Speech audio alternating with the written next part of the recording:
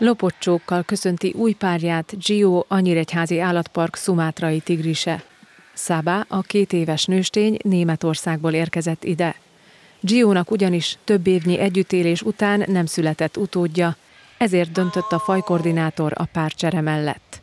A karantén időszak letelt, a friss házasok a kifutóban ismerkednek. Amit most itt láthattunk a reggeli időszakban, az egy, az egy nagyon izgalmas ö, ö, pár, pár csetelés volt, hiszen van egy reggeli rituália az állatoknak.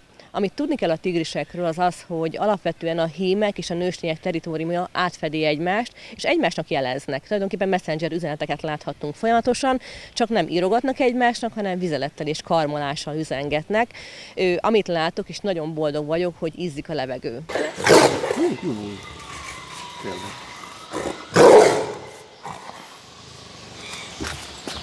Ez még nem az az alkalom. Ez a fajta izzás a gondozók szerint jót jelent.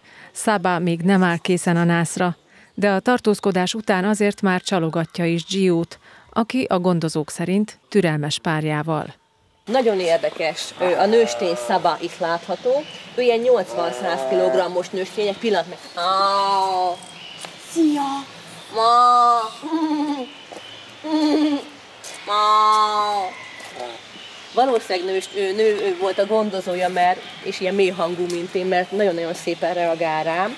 Amit láthatunk, hogy a nőstény folyamatosan figyelemmel kíséri a hímálatot, távol vannak egymástól, de azért minden egyes pillantásra figyelnek egymásra, úgyhogy reméljük hamarosan itt a nász.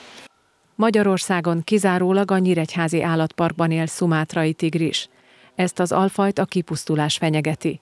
Az állatkertekben világszerte összesen 251 edet tartanak, a természetben pedig mindössze 400 példány él a különleges tigrisből.